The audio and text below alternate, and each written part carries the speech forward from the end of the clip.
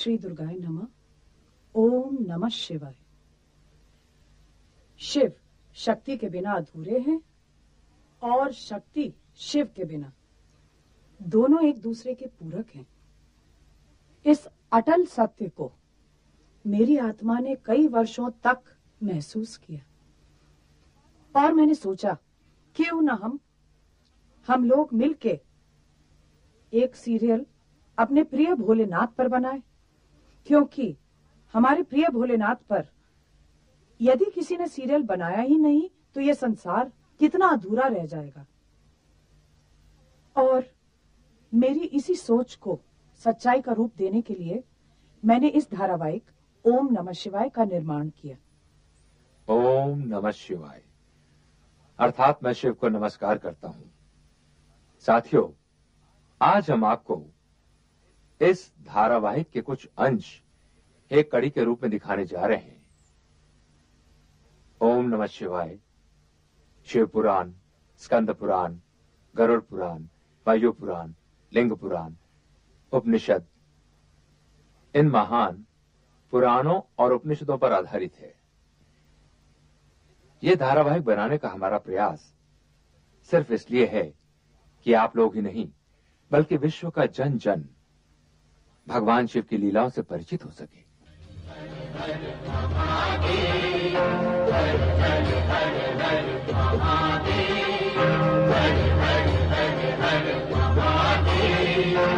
सब देवों के देव तुम्ही हो सब देवों के देव तुम्ही हो।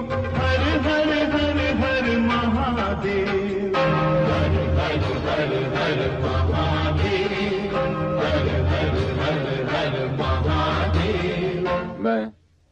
समर जय सिंह। इस महान धारावाहिक ओम नमः शिवाय में शिव की भूमिका निभा रहा हूँ।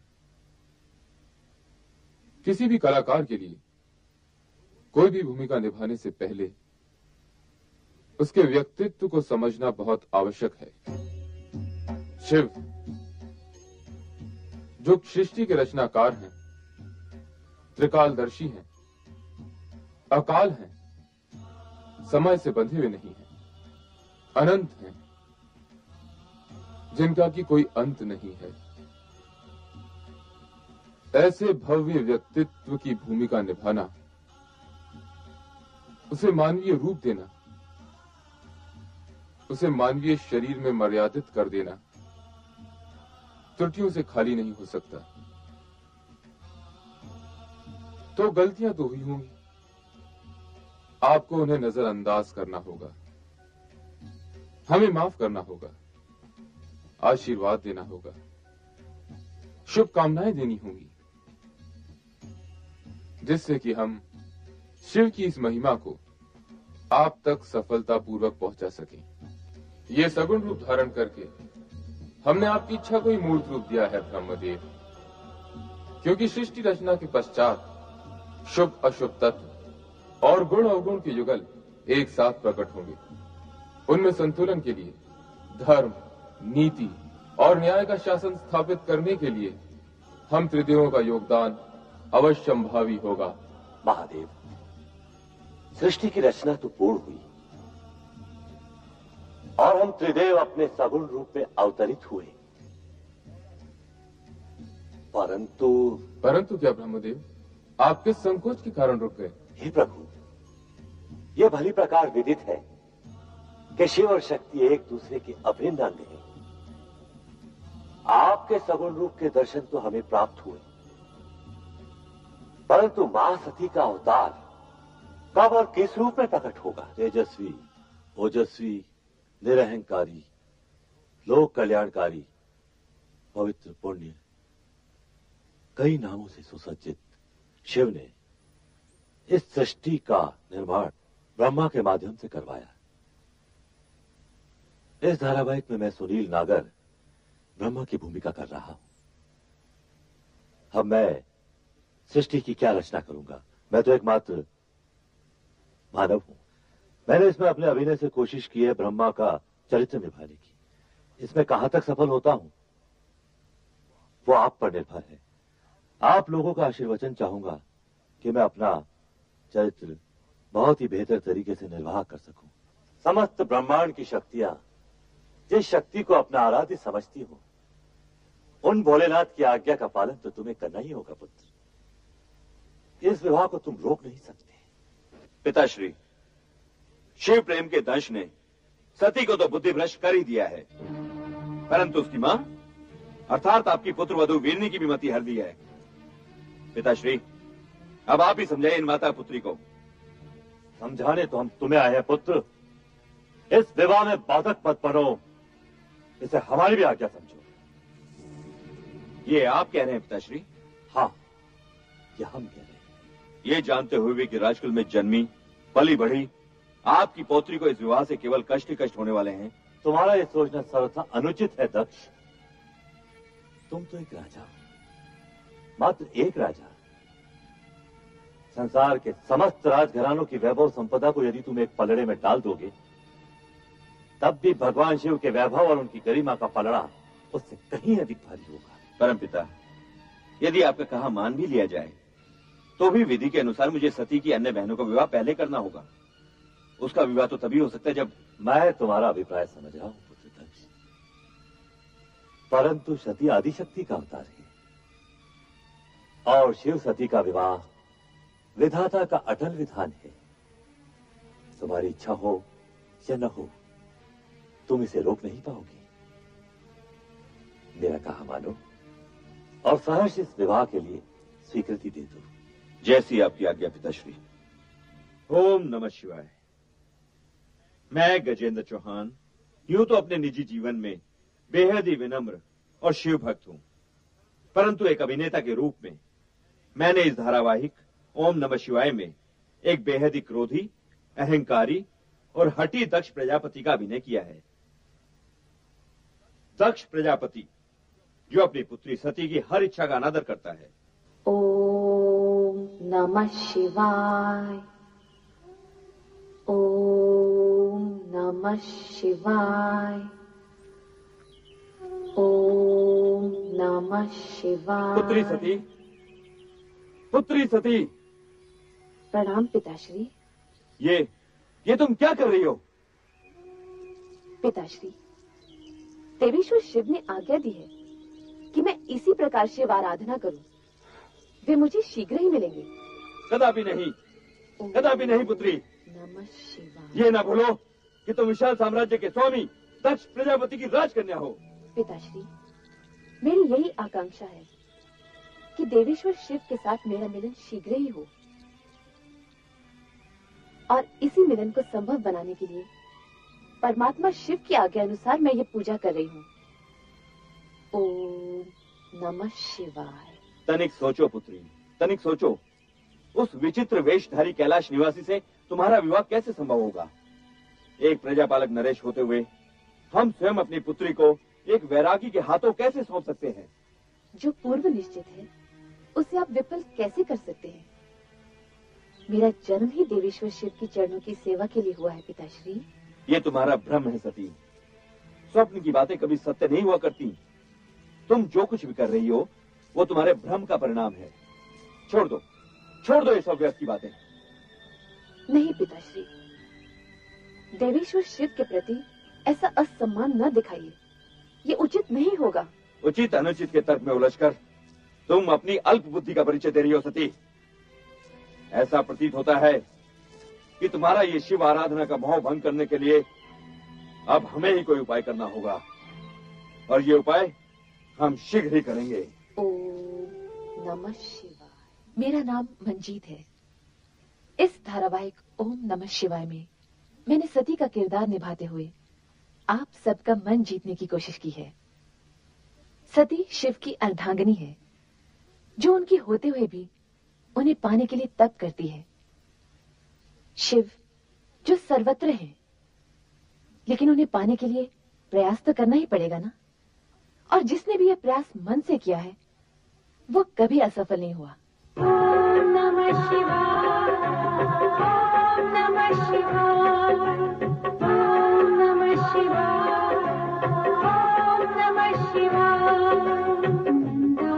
जो रखा है तूने महिमा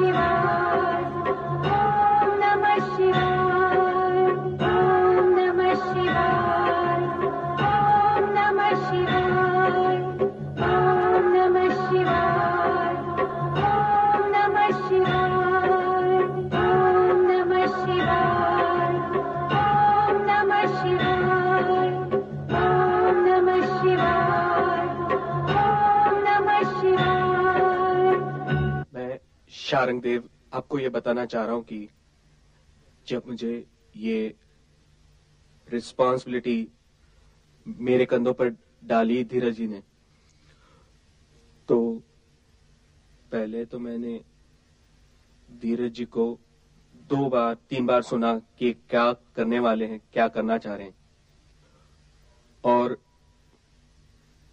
फिर मैंने पिताजी से वेद और पुराणों का थोड़ा सा अध्ययन किया right from the creation from the basic scratch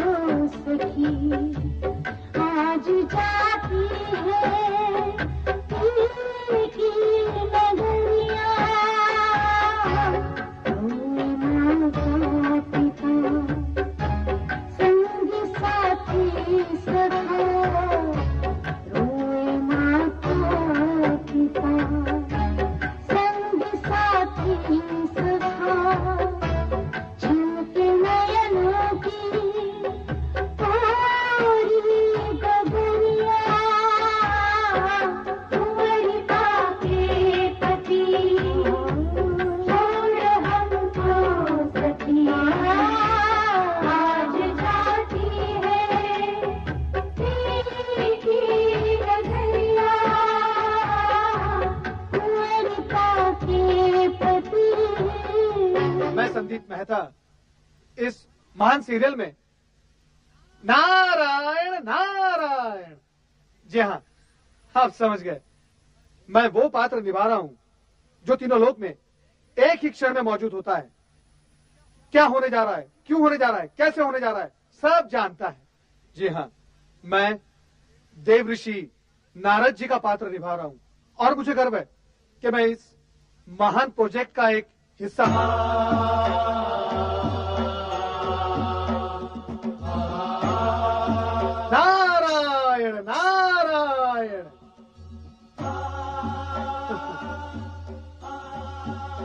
Mahadev, क्या हुआ?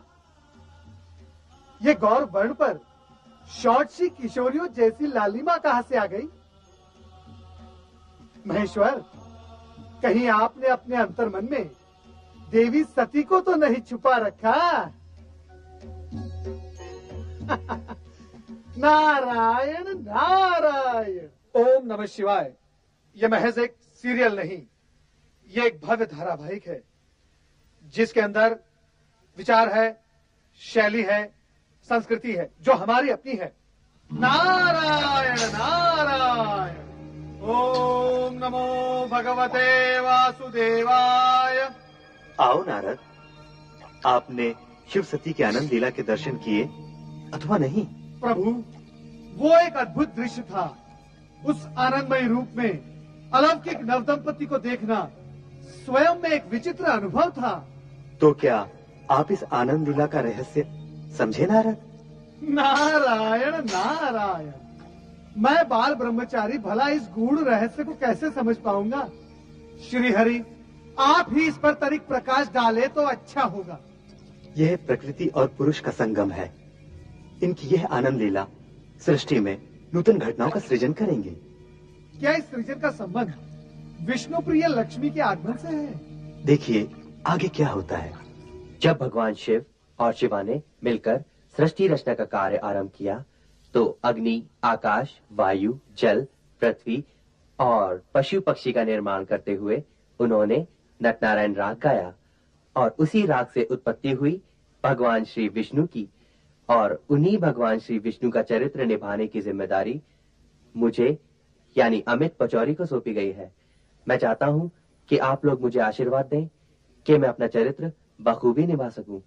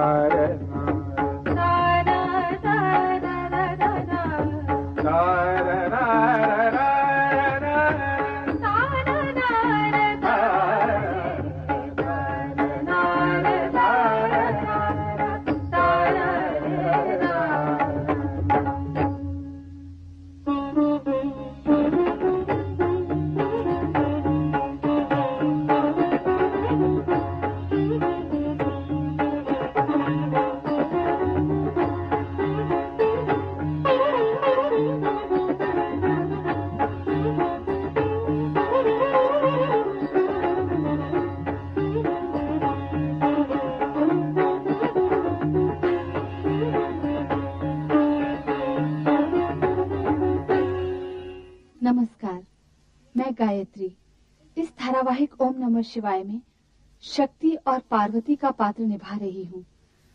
ये उसी शिव की शक्ति का प्रभाव है कि मैं ये पात्र निभाने में सफल हो सकी। ये मैं कह रही हूँ। लेकिन शक्ति का पात्र निभाने में वास्तव में मैं कहाँ तक सफल हो सकी हूँ, इसका निर्णय तो आप दर्शक गण ही कर सकेंगे। मैं तो शिव शक्ति की आराधना साधना करते हुए अपना पात्र निभाने का नम्र प्रयास करती हूँ। ओम नमः शिवाय।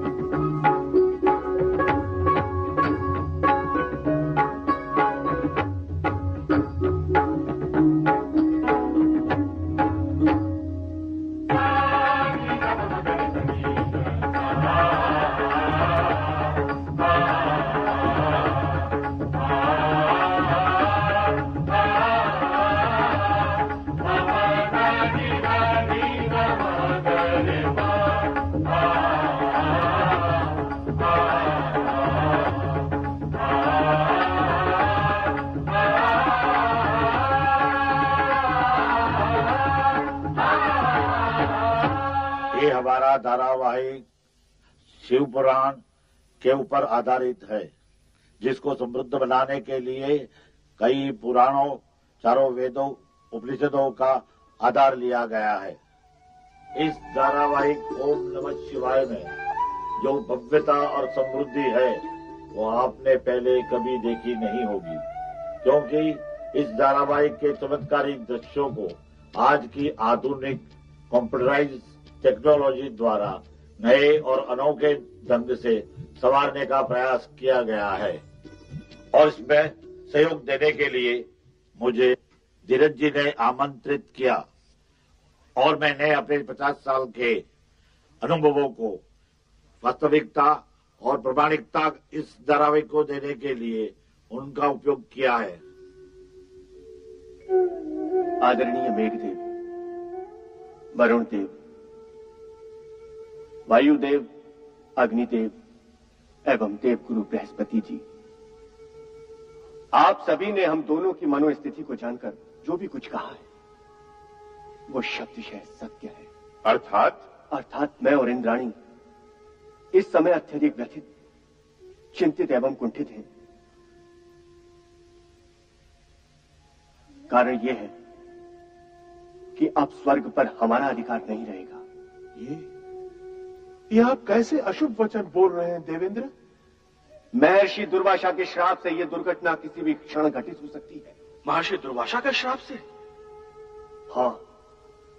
हम इंद्राणी के कहने में आकर भूलवश दुर्वासा ऋषि द्वारा भेंट की गई माला का अनादर कर बैठे इस बात का तो कदाचित हमें ध्यान ही ना रहा। मैं देवराज इंद्र समस्त देवों के साथ आपको ये वचन देता हूँ। कि भविष्य में हम देवों से ऐसे कार्यों की पुनरावृत्ति कभी नहीं होगी। हर हर महादेव, ओम नमः शिवाय। नमस्कार, मैं संजय शर्मा। आप लोग जाने गए होंगे कि इस सीरियल में मैं देवराज इंद्र की भूमिका निभा रहा हूँ। आम जनता के मन मस्तिष्क पर इंद्र के बारे में यह धारणा है कि उनके हज़ार रंग हैं। उनका चरित्र नायक और खलनायक की सीमा रेखाओं के बीच में झूलता रहता है। तो मैंने ऐसे चरित्र को, जिसके हज़ार रंग हैं, अपनी यथाशक्ति अनुसार, अपनी योग्यता अनुसार आपके समक्ष रखने की कोशिश की है। मैं आशा करता हूँ, आपको ये किरदार, आपको ये चरित्र पसंद आएगा। छन छन छन छन पायल छन के खन खन खन खन कंगना खन के छन छन छन छन पायल छन के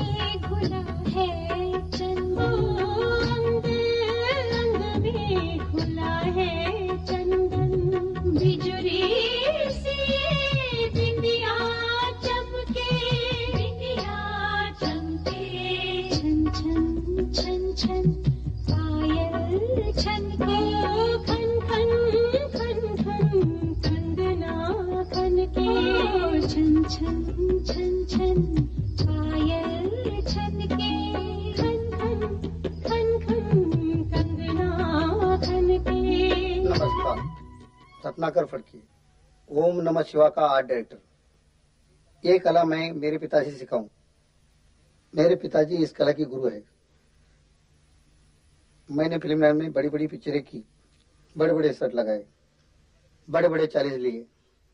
लेकिन इसमें जो आनंद हो रहा है, इसका आनंद कोई अलग ही है। इसका मैं बयान नहीं कर सकता हूँ।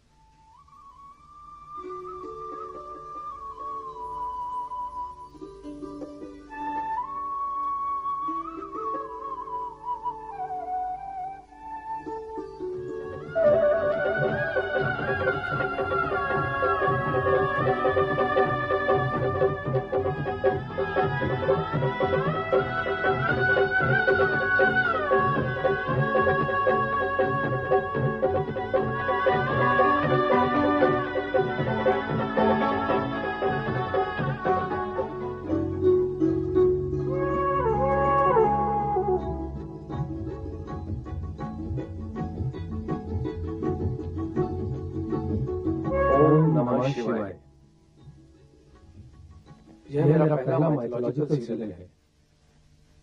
वैसे तो कई सीरियल और फ़िल्मों की शूटिंग मैंने की। परंतु इस सीरियल की शूटिंग करते समय हमें कई नए अनुभव हुए। इन नए अनुभवों को हमने आज की नई कंप्यूटर टेक्नोलॉजी से और रोमांचक बनाने की कोशिश की है। ओम नमः शिवाय के स्पेशल इफेक्ट्स का टेक्निकल स्टैंडर्ड हमने हॉलीवुड के मुकाबले का रखा है।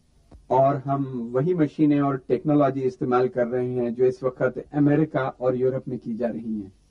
हमें उम्मीद है कि आपको हमारा टेक्निकल स्टैंडर्ड और ये जादूगरी पसंद आएगी।